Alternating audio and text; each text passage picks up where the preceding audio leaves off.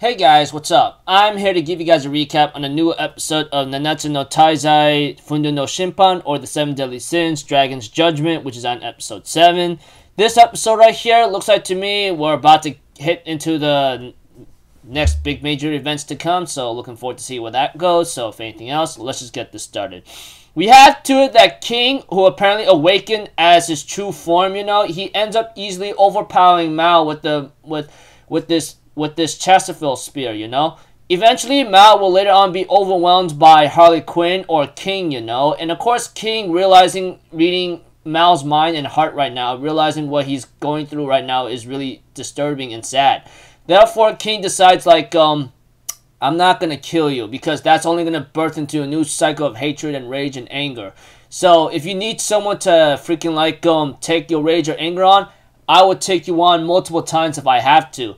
But Mal looks like to me is about to hit his limit as when he absorbed the freaking four commandments, it's already like um, destroying his body or like killing him from the inside out. And we have to it that like um Gowther, who finally awakened from the spell that he finally pushed through or break through right now, he ends up asking Hawk to fly high up in the sky so he could get to Mal. And we have to Gowther enters Mal's mind, and Mal and Gowther has a little small talk with each other.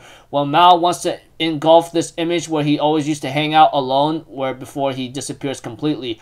Gowther, on the other hand, tells Mal that he has to continue to live and not give up, you know, and that he could push the commandments out of his body. And we see the four commandments um, having to like um, go into Mao's starting to like surround Mal's body, and Gowther tries to convince Mal to like to like um live and push him out, and that he wants to apologize to him properly. Mal, in total anger and rage after being told by Gowther to keep living, you know, says, "Then answer me this, then. Why did you choose me of all people, huh?" I'm pretty sure you could have chose some other some other people who could like um, be a little like um what you call it um more appropriate to the situation here and there. And we have to it that Gowther tells Mal like um, hey man, like um, if you know me very well, then you understand where where I'm coming from here, you know.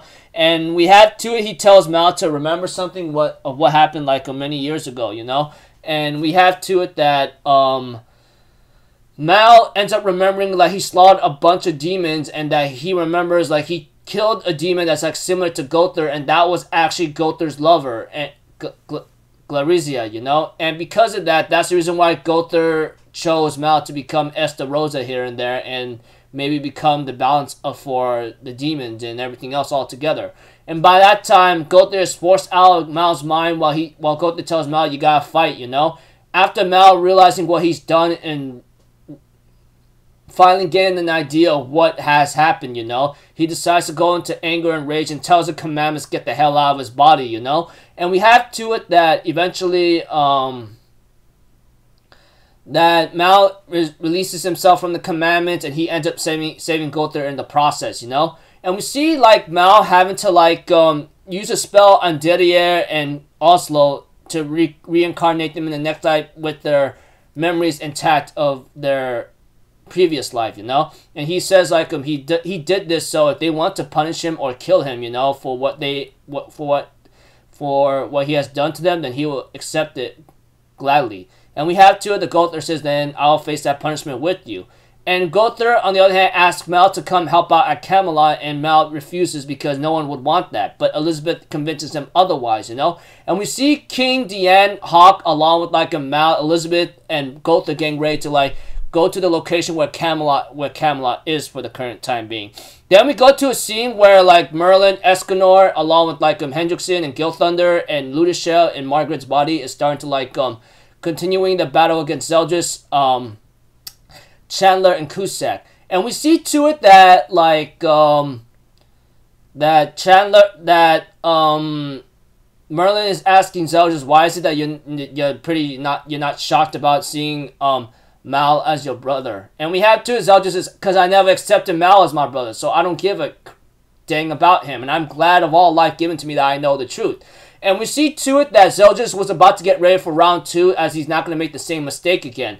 But unfortunately, we have to it that well, for well, unfortunately for the, the rest of the Merlin and Escanor and everyone else sees Cusack and Chandler decides to fuse together. They end up having to talk about a story about the first demon and that because of that they got it got in a punishment because of like what it did and it was it was forced to train two of the princes which is like princes of the demon clan which is like um Zeldris and Meliodas to like um become successors. And we see to it that Cusack and Chandler gang ready to like um form into one powerful demon they mentioned you know? And we see to it we go back to purgatory with Ban and Meliodas along with um Wild getting ready to face the Demon King and get out of there, you know? And preview of next episode looks like to me it's about to get it's about to get a little hectic. Don't know what's about to happen to what happened next, but hopefully things will be okay. But I'm not so sure. So until then, people, I'll see you guys in the next video. I'm Alpha Zero. Have a good day,